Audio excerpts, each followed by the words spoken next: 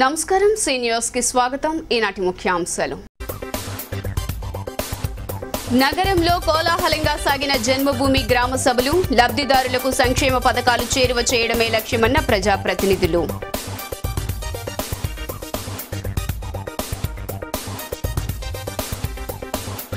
SI అభ్యర్థులకు ఉచిత శిక్షణను ప్రారంభించిన సిపి ద్వారకా తిరుమలరావు పోలీసు శాఖ తరపున సంపూర్ణ సహకారం అందిస్తామని స్పష్టీకరణ. హోదా ఉద్యమకారులపై ఢిల్లీలో జరిగిన దాడిపై నగరంలో పెల్లుబికిన నిరసన లెనిన్ సెంటర్లో ఆందోళనకు దిగిన వామపక్షాలు జనసేన. జనవరి ఎనిమిది తొమ్మిది తేదీల్లో జరిగే సార్వత్రిక సమ్మెను జయప్రదం చేయండి. కార్మిక సంఘాల ప్రచార జాతాలో వక్తల పిలుపు. విజయవాడ పశ్చిమ నియోజకవర్గంలో ఆరో విడత జన్మభూమి మా ఊరు కార్యక్రమాలు పండుగ వాతావరణంలో ప్రశాంతంగా కొనసాగుతున్నాయని స్థానిక శాసనసభ్యులు జలీల్ ఖాన్ పేర్కొన్నారు. అర్హులైన వారందరికీ ప్రభుత్వ సంక్షేమ ఫలాలు అందేలా చర్యలు తీసుకుంటున్నామని తెలిపారు. విజయవాడ పశ్చిమ నియోజకవర్గం ముప్పై తొమ్మిదవ డివిజన్ జన్మభూమి కార్యక్రమాన్ని శుక్రవారం గాంధీజీ మహిళా కళాశాలలో స్థానిక ఎమ్మెల్యే జలీల్ ఖాన్ నిర్వహించారు. ఈ కార్యక్రమంలో స్థానిక ప్రజలు పాల్గొని తమ సమస్యలను అధికారులు ఎమ్మెల్యే కార్పొరేటర్ దృష్టికి తీసుకొచ్చారు.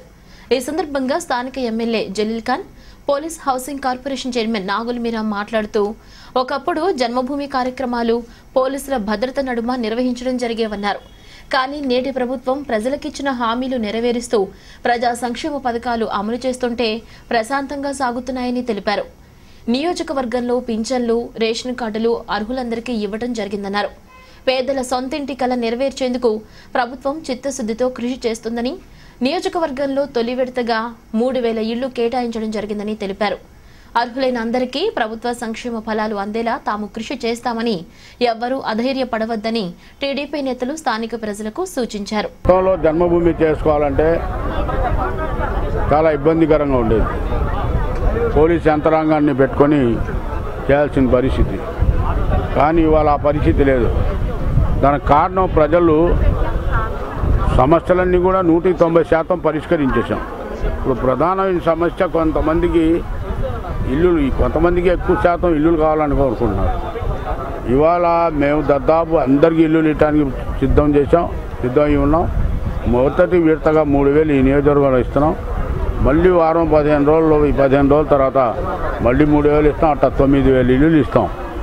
కాబట్టి ప్రతి ఓడికి ఇల్లు ఇస్తాం మళ్ళీ ఇది అయిపోయిన తర్వాత మళ్ళీ ఇంకా తొమ్మిది అంటే ఒక్కొక్క నియోజకవర్గానికి పద్దెనిమిది నుంచి ఇరవై వేల ఇల్లులు వస్తున్నాయి. కాబట్టి ఇల్లుల సమస్య కూడా పరిష్కరించగలిగాం. మనకు ఏదైతే మేము మేనిఫెస్టోలో నేను ఎమ్మెల్యేగా ప్రకటిస్తాం కానీ అదే చంద్రబాబు గారు చెప్పింది నా నియోజకవర్గంలో ఒక్క పని కూడా పెండింగ్ లేదు. శేఖరాజ్ హాస్పిటల్ పని అయిపోయింది శ్మశానం పని అయిపోయింది ఇవాళ కమిషనర్ గారికి నేను ఉత్తరం కూడా ఇచ్చా. అది కొద్దిగా మూడు శాఖలకి అద్దెకి ఇస్తున్నారంట శేఖరాజ హాస్పిటల్. అది ఖాళీ చేస్తే లోకేష్ గారు శంకుస్థాపన చేస్తాను అట్లాగే ముప్పై ఒకటో వార్డులో ఐదు కో ఏ ఎనిమిది కోట్ల నలభై లక్షల రూపాయలతో రామారావు వార్డులో. కింద మార్కెట్ పైన కళ్యాణ మండపం. డబ్బులు కూడా జీవో కూడా పాస్ అయిపోయింది.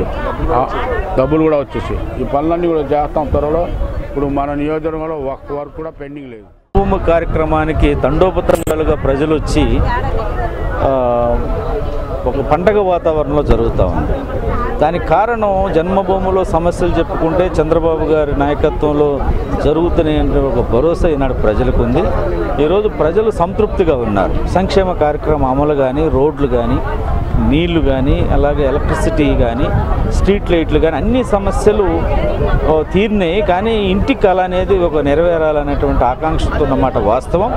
తప్పకుండా ఈ నియోజకవర్గానికి దాదాపు ఇరవై వేల ఇండ్లు రాబోతా ఉన్నాయి. అది కూడా ఒక అద్భుతమైన ఇంట్లో పేదవాడు ఉండాలన్నట్టు కేవలం లబ్ధిదారుడు నాలుగు లక్షలు పెడితే మూడు లక్షలు గవర్నమెంట్ ఇచ్చే విధంగా ప్రయత్నం చేస్తూ ఉన్నారు. ఇవాళ పశ్చిమ నియోజకవర్గం పెట్టిన వాళ్ళందరూ కూడా కొద్దిగా సహనం ఓపిక పట్టమని ఎందుకంటే ఇవన్నీ వెరిఫై అవ్వాలి.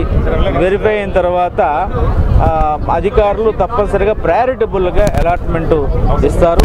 తప్పనిసరిగా రానున్న రోజుల్లో చంద్రబాబు గారు ఈ అభివృద్ధి జరుగుతున్నా జరగాలన్న చంద్రబాబు గారి నాయకత్వం అవసరమైనటువంటి ఆకాంక్షలో ప్రజలు ఉన్నారు. పేదరికం లేని సమాజ స్థాపనే సీఎం చంద్రబాబు లక్ష్యమని తూర్పు శాసనసభ్యుడు గద్దె రామ్మోహన్ అన్నారు.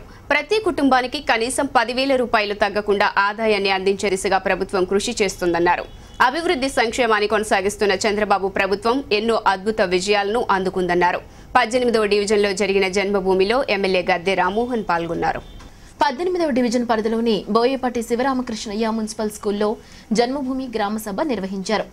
డివిజన్ వాసులు విశేష సంఖ్యలో తరలివచ్చి పెన్షన్లు రేషన్ కార్డులు ఇతర సమస్యలకు సంబంధించి అధికారులకు దరఖాస్తులు అందజేశారు.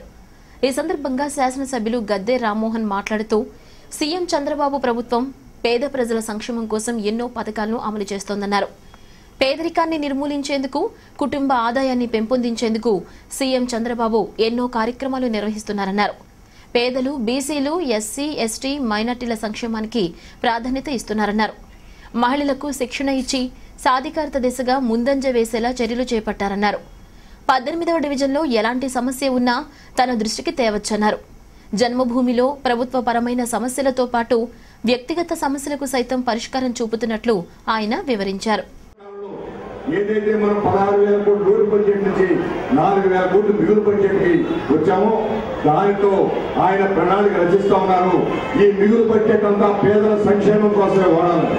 అవసరమైతే ఇంట్లో ఇప్పటి వరకు ఇంట్లో ఒక్క పెన్షన్ ఉండేది. రేపటి నుంచి రెండు పెన్షన్లు ఇవ్వడానికి కూడా ఆయన నిర్ణయం తీసుకుని జీవి జరుగుతాం. మనం ఏదైనా ఒక ఆలోచించాలి. మన ఇంట్లో అది అది రాష్ట్రం అవ్వచ్చు జిల్లా అవ్వచ్చు కుటుంబం అవ్వచ్చు. మన కుటుంబంలో వెయ్యి రూపాయల ఆదాయం పెరిగితే ఆ వెయ్యి రూపాయలకు పిల్లలకు బట్టలు కొనాలనో లేదా పిల్లలకి చదువు చెప్పించాలనో లేదా పెద్దవాళ్ళకి ఏదైనా ఇవ్వాలని అనుకుంటాం. అదేవిధంగా మన రాష్ట్ర పెద్దగా నారా చంద్రబాబు నాయుడు గారు ఆయన కూడా నాలుగు వేల కోట్లు బిల్లు వచ్చింది కాబట్టి దీని పేదలకు ఏ విధంగా పంచాలి? రానున్న రోజుల్లో ఒక్కొక్క పెన్షన్ని వెయ్యి రూపాయలు రెండు వేల రూపాయలకి మార్చడానికి అదేవిధంగా అవసరమైతే భార్య భర్త ఇద్దరికి పెన్షన్ వచ్చే సందర్భంలో మూడు వాళ్ళిద్దరికి కలిపి మూడు వేలు ఇవ్వడానికి నిర్ణయాలు చేస్తా ఉన్నారు. రానున్న రోజుల్లో పెన్షన్లు ఇళ్ళు ఇళ్ళు లేని ఏ ఒక్క పేదవాళ్ళు ఉండకూడదని చెప్పి రేషన్ కార్డు లేని ఏ ఒక్కళ్ళు ఉండకూడదు పేదవాళ్ళు ఉండకూడదని చెప్పి అనేక రకాల వయసు కూడా అరవై ఐదు నుంచి అరవై అరవై సంవత్సరాలకి యాభై సంవత్సరాలకు కూడా నిర్ణయం తీసుకోవడం జరుగుతుంది డివిజన్ కార్పొరేటర్ పాలఝాన్సీ అధ్యక్షతన జరిగిన ఈ సభలో పలువురు కార్పొరేటర్లు స్థానికులు పాల్గొన్నారు. పోలీసు శాఖలో ప్రవేశించాలనుకునే ఔత్సాహికులకు చేరువ కార్యక్రమం ద్వారా చేయూతనందిస్తున్నామని నగర పోలీస్ కమిషనర్ ద్వారకా తిరుమలరావు తెలిపారు. అకుంఠిత దీక్షతో కష్టపడితేనే గమ్యాన్ని చేరుకోగలరని ఆయన ఎస్ఐ అభ్యర్థులకు సూచించారు. నిరాశ నిస్పృహలకు లోను కాకుండా లక్ష్యాన్ని చేరే వరకు విశ్రమించవద్దు అని ఆయన హితవు పలికారు నిరుద్యోగ యువత చెంతకు చేరువ పేరిట శ్రీధర్ సిసిఈ ఆధ్వర్యంలో ఎస్ఐ అభ్యర్థులకు ఉచిత శిక్షణ కార్యక్రమాన్ని సిపి ద్వారకా తిరుమలరావు ప్రారంభించారు. ఏఆర్ గ్రౌండ్లో జరిగిన ఈ కార్యక్రమానికి ముఖ్య అతిథిగా హాజరైన సిపి ద్వారకా తిరుమలరావు మాట్లాడుతూ ఎస్ఐ అభ్యర్థులకు ఉచిత శిక్షణ ఇచ్చేందుకు ముందుకొచ్చిన శ్రీధర్స్ సిసిఈ ప్రతినిధులను అభినందించారు. పోలీస్ శాఖలో చేరాలనుకునే వారికి ముందుగా ఆ శాఖ పట్ల ఇష్టం ఉండాలన్నారు. చేరువ కార్యక్రమం ద్వారా పోలీస్ శాఖ తరపున అభ్యర్థులకు అవసరమైన సహకారం అందిస్తామన్నారు. అభ్యర్థులు ఎలాంటి పరిస్థితులు ఎదురైనా ఎదుర్కొనే మానసిక ధైర్యం అవసరమన్నారు. నిరాశ నిస్పృహలను దరిచేరకుండా చూడాలన్నారు. లక్ష్యాన్ని చేరే వరకు అకుంఠిత దీక్షతో కృషి చేయాలని సిపి ద్వారకా తిరుమలరావు సూచించారు I must, I would like to assure you on this score. I would like to tell you with 100% guarantee మీ గట్టిగా చెప్పవలసిన విషయం ఏంటంటే you will get into service today either as a constable or a sub inspector or DSP only if you are meritorious nothing else అది థియరీలో కానీ పీఈటీలో కానీ you should do well మీకు మెరిట్ ఉంటేనే వస్తారు మెరిట్ లేకపోతే రారు. Why I'm saying this is there are a lot of rumors going on around, uh, going around in the town and uh, state. అరే పోలీసు ఉద్యోగం అంట ఆయన పడితే ఆయన పట్టుకుంటూ వచ్చిందంట ఈయన చెప్తే వచ్చిందంట అది రాదు. ఆయన chairman state level police recruitment board ఆయన నా చేతిలో ఏమి డిస్క్రిప్షన్ ఉండదు. ఇంకా చెప్పాలంటే డీజీపీ గారి చేతిలో కూడా ఏమీ ఉండదు. None of us can do anything ఒక మార్క్ ఎక్స్ట్రా వేలో ఒక మార్క్ తగ్గించడం This is one thing please keep in your mind. All of you will wear uniform tomorrow only if you are meritorious. So please work a little hard. It's good to see quite a few number of you know girls also here because now అంతకుముందు ఒకసారి ఇప్పుడు group వన్లో అన్ని అన్ని డిపార్ట్మెంట్స్లో కూడాను we have thirty three percent quota for women whereas for some reason it was not being implemented in the police department for constables and sub inspectors earlier. డిఎస్పీకి మళ్ళీ లేదు కోటా ప్రకారం ఇచ్చేసేవాళ్ళం DCP Venkatappa Narayana crime DCP Rajakumari కూడా అభ్యర్థులకు పలు సూచనలు చేశారు ఈ కార్యక్రమంలో శ్రీధర్ సిసిఈ డైరెక్టర్ శ్రీధర్ తదితరులు పాల్గొన్నారు ప్రత్యేక హోదా విభజన హామీల సాధనకై ఉద్యమించిన ఉద్యమకారులపై జరిగిన లాఠీ చార్జ్ నిరసిస్తూ విజయవాడలో వామపక్ష జనసేన నేతలు ధర్నా నిర్వహించారు. అశాస్త్రీయ విభజనతో నష్టపోయిన ఆంధ్రప్రదేశ్కు ప్రత్యేక హోదా రాయలసీమ ఉత్తరాంధ్ర ప్రాంతాలకు ప్రత్యేక ప్యాకేజీ విశాఖ రైల్వే జోన్ అందిస్తామంటూ ఆనాడు పేర్కొన్న భాజపా నేతలు తీరా అధికారంలోకి వచ్చాక రాష్ట్ర ప్రజలను దగా చేశాయంటూ మండిపడ్డారు. విభజన హామీలను నెరవేర్చని మోదీ సర్కార్కు తగిన గుణపాఠం నేర్పుతామంటూ హెచ్చరించారు. హోదా సాధన కోసం ఢిల్లీ వీధుల్లో ఉద్యమించిన ప్రత్యేక హోదా సాధన సమితి వామపక్ష నేతలు ప్రజా సంఘాలపై లాఠీ చార్జీకి తెగబడిన కేంద్ర ప్రభుత్వ తీరు నిరసిస్తూ ఆయా పార్టీలు దేశవ్యాప్త నిరసనలు ఆందోళనలకు శుక్రవారం పిలుపునిచ్చాయి. కేంద్ర కమిటీల పిలుపుతో వామపక్ష జనసేన పార్టీల నేతలు నల్ల రిబ్బన్లు ధరించి విజయవాడ లెనిన్ సెంటర్లో ధర్నా నిర్వహించారు. ఈ సందర్భంగా ఆయా పార్టీల నేతలు మాట్లాడుతూ రాష్ట్ర పునర్విభజన చట్టంలో పొందుపరిచిన అంశాలను నెరవేర్చాలని ఢిల్లీ నగరంలో ఉద్యమించిన నేతలపై అక్రమ లాఠీ చార్జీని తీవ్రంగా ఖండిస్తున్నామన్నారు. ప్రజా సమస్యలపై అనేక మార్లు దేశ రాజధానిలో ఆందోళనలు నిర్వహించినా ఏ ప్రభుత్వం కూడా ఈ విధంగా పాల్పడిన దాఖలాలు లేవన్నారు. మోదీ సర్కార్ రాష్ట్రంపై కక్ష సాధింపులో భాగంగానే అక్రమ అరెస్టులు లాఠీ చార్జీలకు పాల్పడిందని మోదీ ప్రభుత్వానికి గుణపాఠం నేర్పే రోజులు దగ్గరలోనే ఉన్నాయని నేతలు హెచ్చరించారు. ఈ పార్లమెంటు శైతాకాల సమావేశాల్లో తాడో పేడో తేల్చుకొని ఆఖరి యుద్ధం చేసి ప్రభుత్వం నుంచి రాయితీలు పొందాలనే ఉద్దేశం ఇప్పటికైనా బీజేపీ మనసు మార్చుకొని తెలుగు ప్రజల హృదయ ఘోషని గమనించి హోదా ఇస్తుంది అనేటువంటి ఆశతోటి యువజన విద్యార్థులు ప్రత్యేక హోదా సమితి కార్యకర్తలు వామపక్షాల కార్యకర్తలు జనసేన కార్యకర్తలు అందరూ కూడా ప్రయాణమై ఢిల్లీకి వెళ్ళి నిన్న ధర్నా చేశారు. శాంతియుతంగా ధర్నా చేస్తూ మా ఘోష వినండి అని చెప్పినటువంటి వాళ్ళ మీద పోలీసును ఉపయోగించి అమానుష్యంగా లాఠీచార్జి చేసి తలలో పగలగొట్టి ఢిల్లీ వీధులను ఎర్రబార్చినటువంటి ఘనత ఓ మోడీకి దక్కుతుంది. ఇప్పటి వరకు మోడీ ద్రోహం చేశాడు తెలుగు ప్రజలకి. ఇప్పుడు దౌర్జన్యం కూడా చేసి దీన్ని అణిచేయాలనుకుంటున్నాడు. తెలుగు ప్రజల యొక్క పౌరుషం చూపెట్టి వచ్చే ఎన్నికల్లో బీజేపీకి ఇక్కడ గల్లంతు చేసి వాళ్ళకి తగిన బుద్ధి చెప్పాలని చెప్పి విజ్ఞప్తి చేస్తున్నాం. ఈ రోజు రాష్ట్ర వ్యాప్తంగా ఈ నిరసన కార్యక్రమం నల్ల బ్యాడ్జీలతోటి దిష్టి బొమ్మల దహనంతో మోడీకి సమాధానం చెప్పాలని చెప్పని మేము ప్రజలందరూ కూడా విజ్ఞప్తి చేస్తాం. ప్రత్యేక హోదా కోసం విభజన హామీల అమలు కోసం వామపక్షాలు అన్ని పక్షాలను కలుపుకొని ఢిల్లీలో ధర్నా చేస్తూ ఉంటే కేంద్ర ప్రభుత్వం నిరంకుశంగా ప్రత్యేక హోదా నిరసనకారుల మీద లాఠీచార్జ్ చేయడం తీవ్రంగా వాళ్ళందరినీ కూడా గాయాలు పాలు చేయడం జనసేన పార్టీ తరఫున పూర్తిగా ఖండిస్తా ఉన్నాం. ఇది ప్రజాస్వామ్యంలో తీవ్రమైనటువంటి చర్యగా పరిగణించాలి. ఇచ్చినటువంటి వాగ్దానాన్ని ఎందుకు నిలబెట్టుకోలేదని ప్రధానమంత్రి నరేంద్ర మోడీ గారిని భారతీయ జనతా పార్టీని షూట్గా ప్రశ్నిస్తూ ఉన్నాం. మీరు చేసినటువంటి నిన్న దౌర్జన్యానికి రాబోయే ఎన్నికల్లో భారీ మూల్యం చెల్లించుకోక తప్పదని కూడా హెచ్చరిస్తా ఉన్నాం. అట్లాగనే ఈ పోరాటంలో ఇప్పటికే అనేక మాటలు మార్చినటువంటి భారతీయ జనతా పార్టీకి ఆంధ్రప్రదేశ్లో ఒక్క స్థానంలో కూడా డిపాజిట్ దక్కదని కూడా హెచ్చరిస్తా ఉన్నాం. హోదా ఇవ్వనటువంటి భారతీయ జనతా పార్టీ ఆంధ్రప్రదేశ్లో భూస్థాపితం కావడం తథ్యమని కూడా తెలియజేస్తాం. ఆంధ్ర రాష్ట్ర ప్రజల మానస పుత్రిక ప్రత్యేక హోదా కోసం ఢిల్లీలో జంతర మంతర్ వద్ద నినదిస్తున్న శాంతియుతంగా ధర్నా చేస్తున్న ప్రత్యేక హోదా సాధన సమితి సిపిఐ సిపిఎం రాష్ట్ర నాయకుల్ని కార్యకర్తల్ని దారుణంగా దాడి చేసి గాయపరచడాన్ని తీవ్రంగా ఖండిస్తున్నాం. రామకృష్ణ గారిని మనం అరెస్ట్ చేశారు మధు అరెస్ట్ చేశారు ముప్పాల నాగేశ్వరరావు గారు గాయాల బారిన పడ్డారు ఏఐఎస్ఎఫ్ ఏవైఎఫ్ రాష్ట్ర నాయకులు గాయాల బారిన పడి ఆసుపత్రిలో చికిత్స పొందినటువంటి పరిస్థితి. కాబట్టి మోడీ గారు ఇది న్యాయమా అని చెప్పేసి ప్రశ్నిస్తున్నాం. పిడికిన మట్టి చెంబుడు నీళ్ళు ఇచ్చి ఆంధ్ర రాష్ట్ర ప్రజల్ని మోసం చేసేటువంటి నీవు ప్రత్యేక ప్యాకేజీ ఇస్తామని చెప్పి మోసం చేసిన నీవు ఇవాళ ఆంధ్ర రాష్ట్ర ప్రజల్ని భౌతికంగా దాడులు సాగించేటువంటి పరిస్థితికి ఈ రోజున మోడీ ప్రభుత్వం దిగజారింది. వినాశకాల విపరీత బుద్ధి. మోడీకి పోయే కాలం దాపురించినటువంటి సందర్భంగా ఆ నిన్న జరిగినటువంటి దాడిని పోలీసు లాఠీ ఛార్జీని అక్రమ అరెస్టులను సిపిఐ సిపిఎం జనసేన పార్టీలుగా తీవ్రంగా ఖండిస్తున్నాం. రాబోయేటువంటి కాలంలో మోడీకి గుణపాఠం చెప్పాల్సినటువంటి బాధ్యత ఆంధ్ర రాష్ట్ర ప్రజలపై ఉన్నది. ఆ వైపుగా ప్రజలు గుణపాఠం చెబుతారని చెప్పి సందర్భంగా మోడీకి విజ్ఞప్తి ఈ నెల ఎనిమిది తొమ్మిది తేదీల్లో చేపట్టిన దేశవ్యాప్త సమ్మెను జయప్రదం చేయాలంటూ కార్మిక సంఘాలు పిలుపునిచ్చాయి. కార్మికులందరికీ కనీస వేతనంగా పద్దెనిమిది వేలు ఇవ్వాలని ఈఎస్ఐ పీఎఫ్ గ్రాట్యుటీతో కూడిన సామాజిక భద్రత కల్పించాలని సంఘ నేతలు కేంద్ర రాష్ట్ర ప్రభుత్వాలను డిమాండ్ చేశారు. కేంద్ర రాష్ట్ర ప్రభుత్వాల కార్మిక ఉద్యోగ ప్రజా వ్యతిరేక విధానాలు నిరసిస్తూ జనవరి ఎనిమిది తొమ్మిది తేదీల్లో చేపట్టిన దేశవ్యాప్త సార్వత్రిక సమ్మె జయప్రదం కోరుతూ కృష్ణా జిల్లా ఏఐటీసీ సిఐటియు నేతలు ప్రచార జాథా కార్యక్రమాన్ని విజయవాడ లెనిన్ సెంటర్ నుండి ప్రారంభించారు. ఈ సందర్భంగా ఇరు సంఘాల నేతలు మీడియాతో మాట్లాడుతూ కేంద్రంలో బీజేపీ రాష్ట్రంలో టీడీపీ ప్రభుత్వం కార్మిక ఉద్యోగ వ్యతిరేక విధానాలు అవలంబిస్తున్నాయన్నారు. సుప్రీంకోర్టు తీర్పు సైతం అమలు కాకపోవడం దారుణమన్నారు. కనీస వేతనంగా పద్దెనిమిది వేల రూపాయలు ఇవ్వాలని ఈఎస్ఐ పీఎఫ్ గ్రాట్యుటీ వంటి సామాజిక భద్రతను కల్పించాలని కార్మిక ఉద్యోగ సంఘ నేతలు వివిధ రూపాల్లో నిరసనలు ఆందోళనలు నిర్వహించినా ఈ ప్రభుత్వాల్లో చలనం రాలేదన్నారు. కార్మిక ఉద్యోగుల ఆగ్రహాన్ని బీజేపీ టీడీపీ సర్కార్లకు చవి చూపించేందుకు ఈ నెల ఎనిమిది తొమ్మిది తేదీల్లో చేపట్టిన దేశవ్యాప్త సమ్మెను జయప్రదం చేయాలని పిలుపునిచ్చారు.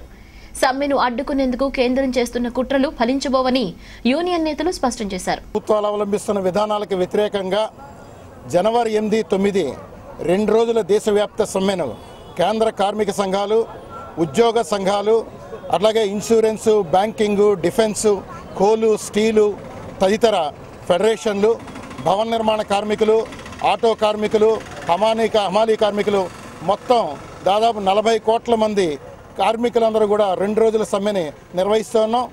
మోడీ ప్రభుత్వం ఇప్పటికైనా స్పందించాలి. కనీస వేతనం పద్దెనిమిది వేల రూపాయలు చేసి దాన్ని అమలు చేయాలి. అందరికీ పిఎఫ్ఈఎస్ఐ సౌకర్యాలు కలిగించాలి. పెన్షన్ సౌకర్యం కల్పించాలి. సిపిఎస్ విధానాన్ని రద్దు చేసి ఓపీఎస్ విధానాన్ని తేవాలి. అలాగే కాంట్రాక్ట్ అవుట్సోర్సింగ్ విధానాన్ని రద్దు చేసి అందరినీ కూడా రెగ్యులరైజ్ చేయాలి. అలాగే రైతులకు సంబంధించి మోడీ ప్రభుత్వం హామీ ఇచ్చింది. ఉత్పత్తి ఖర్చుల కంటే యాభై శాతం పలిచి కలిపి గిట్టుబాటు ధరలు కల్పిస్తానని కానీ ఆ దిశగా మాత్రం చర్యలు లేవు. రైతులకు గిట్టుబాటు ధరలు కల్పించాలని ఆరు వందల రూపాయలు రోజు కూలి మీద వ్యవసాయ కార్మికులకి రెండు వందల రోజులు పని కల్పించే వరసల్ని ఆపాలని చెప్పి డిమాండ్ చేస్తూ ఉన్నాం. కౌలు రైతుల సమస్యలు పరిష్కారం చేయాలని డిమాండ్ చేస్తూ ఉన్నాం. కేంద్ర ప్రభుత్వం ఇప్పటికైనా స్పందించి ఈ సమస్యలన్నింటినీ కూడా పరిష్కారం చేయాలని చెప్పి డిమాండ్ చేస్తూ ఈరోజు విజయవాడలో కార్మికులందరిలో ప్రచారం చేయడానికి జాతా నిర్వహిస్తూ ఉన్నాం. ఎనిమిది తొమ్మిది సమ్మెను జయప్రదం చేయమని చెప్పి ఏ సంఘాలు ఏ చండాలు ఎజెండాలు ఏవైనా కానీ మొత్తం కార్మికులందరూ కూడా ఈ సమ్మెలో పాల్గొని జయప్రదం చేయమని చెప్పి విజ్ఞప్తి చేస్తున్నాం ఇప్పటికే రాష్ట్ర దేశంలో రాష్ట్రంలో ఈ జనవరి ఎనిమిది తొమ్మిది తేదీలలో నిర్వహించనున్న సమ్మెకు కార్మిక వర్గం సమాయత్తమవుతా ఉంది. మరి ఇప్పటికి దాదాపు మూడు నెలల క్రితమే సెప్టెంబర్ ఇరవై ఎనిమిదో తేదీన ఢిల్లీలో పది కేంద్ర కార్మిక సంఘాలు దాదాపు రెండు వందల యాభై స్వతంత్ర ఫెడరేషన్లు అన్ని ఉద్యోగ ఉపాధ్యాయ బ్యాంకింగ్ సెక్టారు అన్ని డిఫెన్స్ అన్ని రంగాల కార్మిక సంఘాలన్నీ కలిసి నిర్ణయం చేసుకొని ఈ జనవరి ఎనిమిది తొమ్మిది తేదీలలో దేశవ్యాప్తంగా రెండు రోజుల పాటు సమ్మె సాగించడానికి పూనుకున్నాం మరి ఎందుకు ఇవాళ? మరి దుర్మార్గంగా కేంద్ర ప్రభుత్వం కూడా మరి మూడు నెలల ముందుగానే కార్మిక సంఘాలు సమ్మె నోటీసు అందరికి ఇచ్చి మరి ఇవాళ సమ్మెకు పోతున్నటువంటి ఈ నేపథ్యంలో మరి రేపు ఎనిమిది తొమ్మిది తేదీలలో మరి ఇంజనీరింగ్ వైద్య పరీక్ష ప్రవేశ పరీక్షలు కూడా పెట్టి అందరినీ కూడా కాస్త డిస్టర్బ్ చేసి ఈ సమ్మెను కూడా భగ్నం చేయడానికి ఇప్పటికే ప్రభుత్వం కుట్ర ప్రారంభించింది. దీన్ని కూడా మేము తీవ్రంగా వ్యతిరేకిస్తున్నాం. కాబట్టి ఇవాళ ఏదైతే కార్మిక సంఘాలు ముందుగానే చెప్పినటువంటి తేదీలు ఉన్నాయో ఆ తేదీలలో జరగబోయేటువంటి పరీక్షలన్నింటినీ వాయిదా కూడా వేసుకోవాలని చెప్పేసి కూడా ఈ సందర్భంగా డిమాండ్ చేస్తున్నాం. అదే కాకుండా ఈ రాష్ట్రంలో రాష్ట్ర ప్రభుత్వం ఈరోజు ఏదైనా కానీ ప్రజలు ప్రజాస్వామ్యబద్ధంగా కార్మికులు కానీ ప్రజలు కానీ ఎవరైనా నిరసన తెలియజేసేటువంటి అధికారం కూడా హక్కు కూడా లేకుండా ఇవాళ చంద్రబాబు నాయుడు ప్రభుత్వం ప్రయత్నం చేస్తాం ప్రభుత్వ సంక్షేమ కార్యక్రమాలను ప్రజలకు అందుబాటులోకి తెచ్చేందుకు జన్మభూమి దోహదపడుతోందని మంత్రి దేవినేని ఉమామహేశ్వరరావు అన్నారు. అర్హులైన వారందరికీ ప్రభుత్వ పథకాలు అమలు చేస్తున్నామని ఆయన స్పష్టం చేశారు. కృష్ణా జిల్లా మైలవరం మండలం గణపవరంలో జన్మభూమి మా ఊరు కార్యక్రమాన్ని నిర్వహించారు. మంత్రి దేవినేని ఉమామహేశ్వరరావు జిల్లా కలెక్టర్ లక్ష్మీకాంతం పాల్గొన్నారు. ఈ సందర్భంగా వారు మాట్లాడుతూ జన్మభూమి వేదికగా మైలవరం నియోజకవర్గంలోని ప్రతి గ్రామంలో సంక్షేమ కార్యక్రమాలను ప్రజలకు చేరువ చేస్తున్నామన్నారు. ముఖ్యమంత్రి చంద్రబాబు ఎంతో ప్రతిష్టాత్మకంగా జన్మభూమి నిర్వహించాలని ఆదేశాలిచ్చారన్నారు. ఈ కార్యక్రమంలో ప్రజలు పాల్గొని స్వయం సమృద్ధి పొందాలని వారు సూచించారు. అన్ని శాఖల అధికారులు జన్మభూమిలో అందుబాటులో ఉంటారని వారు వివరించారు. పెన్షన్లు ఒకవైపు రేషన్ మరొక వైపు మూడవ వైపు గృహ నిర్మాణం. వీళ్ళందరికీ మంజూరు ఉత్తర్వులు అందజేయగలిగితే ఫిబ్రవరి నుంచి వాళ్ళ అకౌంట్లో బ్యాంక్ అకౌంట్లో పెన్షన్ పడుతుంది. ఒకటి. రెండవది రేషన్కు సంబంధించి ఫిబ్రవరి నుంచి వాళ్ళకి నిత్యావసర వస్తువులు వస్తాయి. ఈ సందర్భంగా లబ్ధిదారులకు పెన్షన్లు పాస్ పుస్తకాలు అందజేశారు. ఈ కార్యక్రమంలో sub collector Misha Singh tahsildar Pratap Pullaiah ZPTC Ramulu MPTC Lakshmi తదితరులు పాల్గొన్నారు. దేశ రాజధానిలో హోదా ఉద్యమకారులపై జరిగిన దాడులను ఆంధ్రప్రదేశ్ కాంగ్రెస్ కమిటీ ఉపాధ్యక్షుడు డాక్టర్ తులసిరెడ్డి తీవ్రంగా ఖండించారు. రాష్ట్ర ప్రయోజనాలను దెబ్బతీస్తున్న భాజపా ప్రభుత్వానికి చెట్టుకాలం దాపురించిందన్నారు. ఆంధ్రప్రదేశ్కు విభజన హామీలు నెరవేర్చకపోవటానికి భారతదేశం ఏమైనా మోదీ పాలనలో దివాళా తీసిందా అంటూ ప్రశ్నించారు. విజయవాడ ఆంధ్రరత్న భవన్లో జరిగిన పాత్రికేయుల సమావేశంలో APCC vice president doctor Tulasi Reddy కేంద్రంపై తీవ్రస్థాయిలో ధ్వజమెత్తారు. ప్రత్యేక హోదా విభజన హామీలను నెరవేర్చండి అంటూ శాంతియుత వాతావరణంలో నిరసన తెలుపుతున్న ప్రజా సంఘాలు వివిధ పార్టీల నేతలపై అక్రమ లాఠీ ఛార్జీలకు పాల్పడడం దుర్మార్గమని ఈ చర్యను తీవ్రంగా ఖండిస్తున్నామన్నారు. పునర్విభజన చట్టంలో పొందుపరిచిన అంశాలను నెరవేర్చకుండా కాలయాపన చేస్తున్న బీజేపీ పాలకులను ఏమనాలన్నారు. రాజధాని నిర్మాణానికి ఉత్తరాంధ్ర రాయలసీమకు ప్రత్యేక ప్యాకేజీకి నిధులు మంజూరు చేయకుండా రైల్వే జోన్ ప్రకటించకుండా రాష్ట్ర ప్రజల్ని దగా చేస్తోందంటూ బీజేపీ సర్కార్పై ఆగ్రహం వ్యక్తం చేశారు. నిన్న ఢిల్లీలో ప్రత్యేక హోదా కోసం విభజన చట్టంలోని వివిధ అంశాల అమలు కోసం ధర్నా చేపట్టినటువంటి ప్రత్యేక హోదా సాధన సమితి వామపక్షాలు విద్యార్థి సంఘాల నాయకులపై పోలీసులు లాఠీచార్జీ చేయడాన్ని ఆంధ్రప్రదేశ్ కాంగ్రెస్ కమిటీ తీవ్రంగా ఖండిస్తా ఉంది. అదేవిధంగా ప్రత్యేక హోదా కోసం ఆంధ్రప్రదేశ్ ఉన్నటువంటి టీడీపీ ఎంపీలు పార్లమెంటులో పోరాడుతూ ఉంటే వాళ్ళను నాలుగు రోజుల పాటు స్పీకర్ గారు సస్పెండ్ చేయడం ఇది చాలా దురదృష్టం. ఆంధ్రప్రదేశ్ పునర్వ్యవస్థీకరణ చట్టం ప్రకారం కేంద్రం నుండి రాష్ట్రానికి రావాల్సింది కొండంత వచ్చింది ఘోరంత రాష్ట్ర విభజన సందర్భంగా అన్ని విధాల అభివృద్ధి చెందిన హైదరాబాద్ నగరం తెలంగాణ రాష్ట్రానికి పోయింది కాబట్టి ఆ మేరకు సీమాంధ్రకు జరిగే నష్టాన్ని భర్తీ చేసేటందుకు ఆ రోజు కాంగ్రెస్ నేతృత్వంలోని యూపీఏ ప్రభుత్వం ప్రధానంగా సీమాంధ్రకు మూడు వరాలు ప్రకటించింది. అందులో మొదటిది ప్రత్యేక హోదా రెండవది రాయలసీమకు ఉత్తరాంధ్రకు ప్రత్యేక అభివృద్ధి ప్యాకేజీ మూడవది విభజన చట్టంలోని నూట ఎనిమిది సెక్షన్ల కింద పద్మూడు షెడ్యూళ్ళ కింద దాదాపు ఐదు లక్షల కోట్ల రూపాయలు విలువ చేసే ప్రయోజనాలు కేంద్రము రాష్ట్రానికి అంది ఈ మూడు వరాలు గన అమలై ఉంటే ఈ పాటికి సీమాంధ్ర స్వర్ణాంధ్ర అయి ఉండేది. ఇప్పుడు కొద్దిసేపు ప్రకటనలు.